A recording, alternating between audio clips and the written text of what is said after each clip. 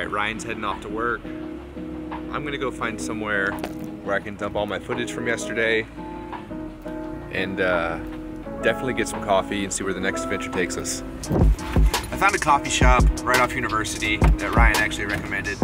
So I'm just gonna pack up all my stuff and dump some footage while I'm there, get some coffee. I don't know, I might do a little bit of editing. I'm trying to do some hiking today, so we're gonna fit that in. It's like so relaxed here, I love it.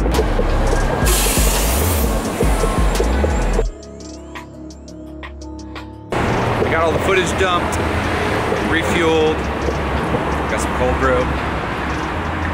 This place is fire. It's good. I'll probably come here tomorrow too, if I don't go to LA. Ryan said there's some sort of mountain, like mountain to hike that's around here. It's like 15 minutes from his house. But then again, Ryan says everything's only 15 minutes from his house. I mean, in his defense, he's right.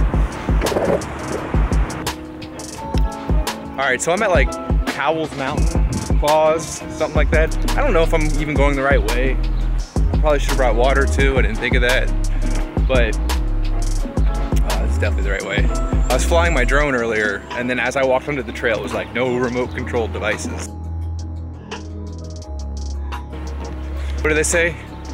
Uh, it's better to ask for forgiveness instead of permission. This is probably my third camera bag. It's by far my favorite.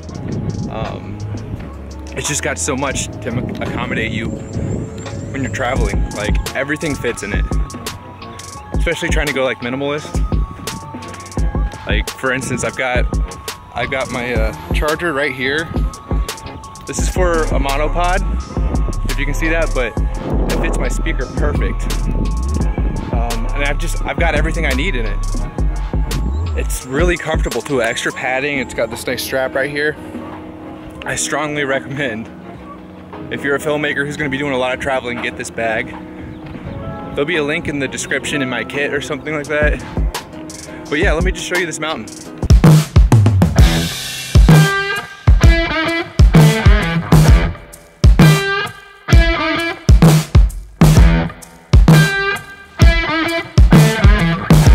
I need like a, like a good walking stick.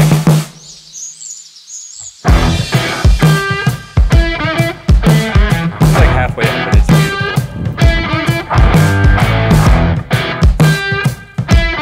Quick, I just want to give a shout out to Hansel and Gretel for leaving this trail of rocks here.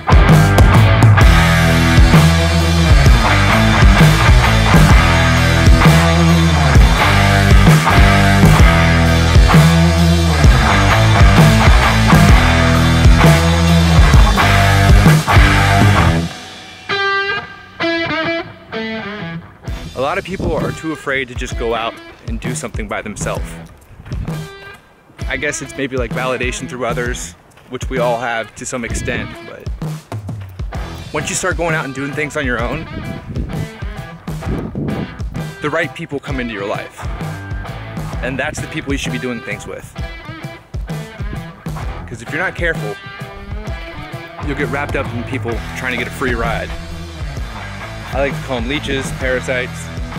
They just drain you. And never hang out with somebody who doesn't believe in themselves.